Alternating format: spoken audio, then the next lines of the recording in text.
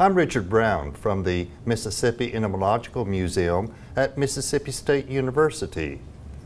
Today we're going to start a series of presentations on the larvae, beginning with the first presentation here on some of the important characters, especially the chetotaxy and crochets of larvae that are important for identification.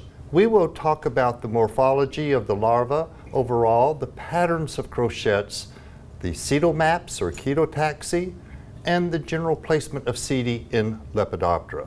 A caterpillar shown here will have usually three thoracic legs that are segmented.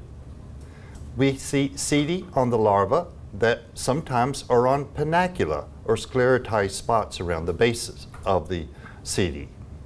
We have four pairs of abdominal prolegs and one pair at the end of the larva. The head of the larva is usually hypognathous, that is, the mouth parts are directed downward. However, some leaf miners and stem borers have mouth parts directed forward or prognathous. The epicranial suture, shown as this red line, is short in internal feeders but long in external feeders. We see two red lines. The wide red line is the ecdysal line and the narrow red line is the adfrontal suture. If this is colored in, we see an inverted V that is characteristic of the Lepidoptera. Some Coleoptera have an inverted V, but only with one line instead of two lines.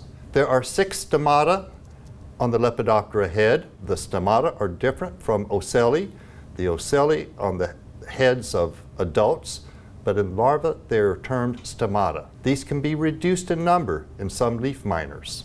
In looking at the sawfly in Hymenoptera, they have prolegs too. The prolegs don't have crochets, but they only have one ocellus on the head.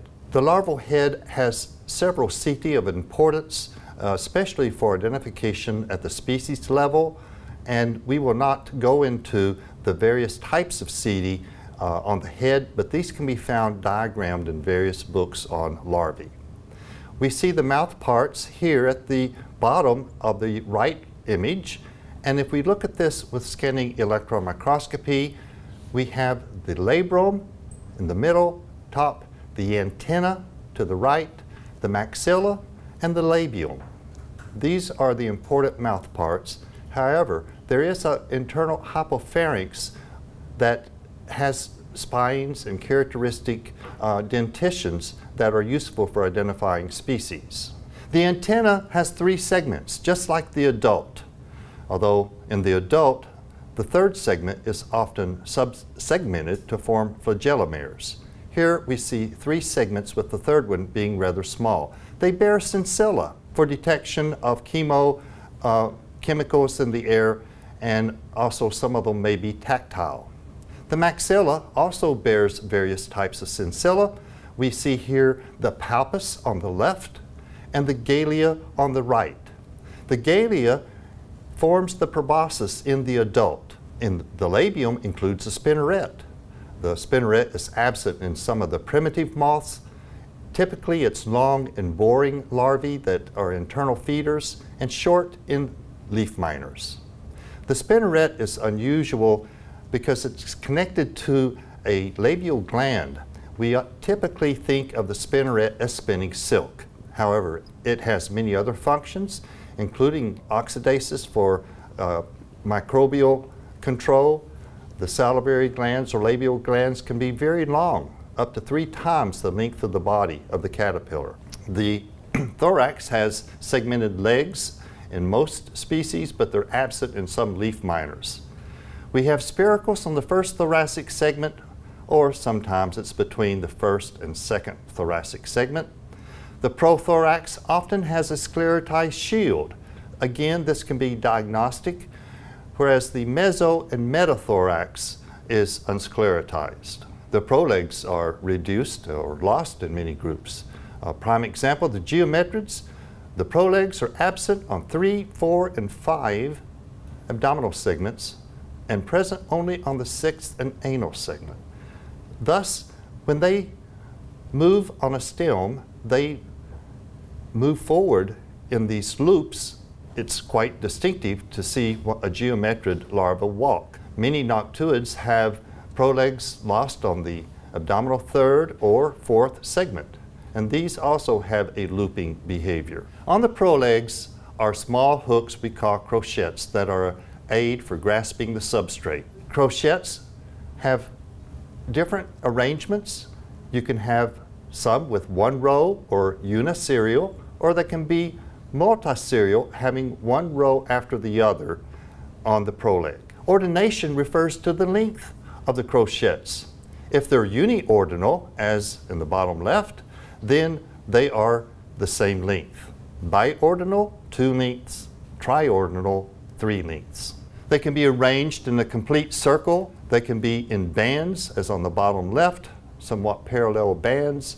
They can be in a penellipse, in which the circle is broken on one side. And sometimes they can be found in a series, either a mesoseries or lateral series. And this is characteristic of some of the important families that we will be covering. The crochets in mesoseries can be the same length across all, all of the crochets on the leg, proleg, or they can be abruptly longer in the middle, and this is called heteroideous. The anal crochets are often different from the abdominal ones. For example, here with the Grapholita, we see the abdominal uh, crochets in a circle, but if we look at the anal segment, we see them in a half circle. There's also, in this particular species and in many other tortricids, an anal fork between the crochets that uh, is present in some can be diagnostic and it's involved in tossing the fecal pellet aside. Setae can be primary or secondary. In all larvae, the setae that are present in the first instar are the primary setae. In some caterpillars, in various families, additional setae can be added after the first instar. And with each molt, additional setae can be named. Even with the secondary setae, the primary setae are present but cannot be identified in the later instars. Chetotaxy is the naming system we use for the primary setae. The chetotaxy that we used follows the terminology of Hinton. However, if you look at some references uh, before 1950, there's other types of naming systems that exist and in uh, some books, such as the Stehr's volume on immature insects, the various systems are compared, but we are using the Hinton system for chetotaxy. When you see a figure in Stehr or many other books on larvae, you often see T1, referring to the first thoracic segment, being illustrated by itself, but T2 and 3, the second and third segments, are grouped together because they're similar. Likewise, A1 and A2 are separate, but A3 to 6 are similar, and so there's one segment to represent all of those. Then we have segments for 7, 8, 9, and 10, and these can differ considerably between the various segments. And looking at the types of setae, here in red you see the dorsal group, D1 and D2. In this figure, this is one side of a larva. If it were cut down the middle and flattened, these would be the setae you would see. On the opposite side would of course be the other D1 and other D2 that's not visible in this figure. In some uh, species on the prothorax, there can be an extra dorsal one towards the anterior side. Dorsal 1, dorsal 2. The subdorsal groups are those at the uh, ventral part that uh, are shown here in the red above the spiracle. The lateral group is on the side of the larva near the spiracle. In some cases, one or more of the setae can be uh, widely spaced from the others. In the Microlepidoptera, the so-called Microlepidoptera, they're the small moths, there are typically three L-group setae. In Pyraloidea, and the Macrolepidoptera, including the noctuids and Saturniids and others, there are two or one setae in front of the spiracle. The subventral group on the pro prothorax has two setae.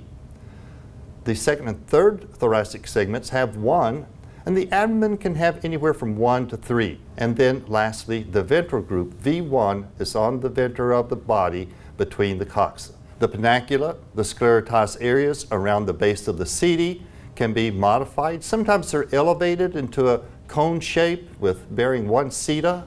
Sometimes they are larger and they have many setae coming from the same expanded pinaculum. Here are some useful references that uh, you will uh, be using if you're trying to identify larvae, either the book by, edited by Stehr, Fred Stehr, or LepIntercept keys, and there are other available keys that will be mentioned later that can be used for identification. Are there any questions?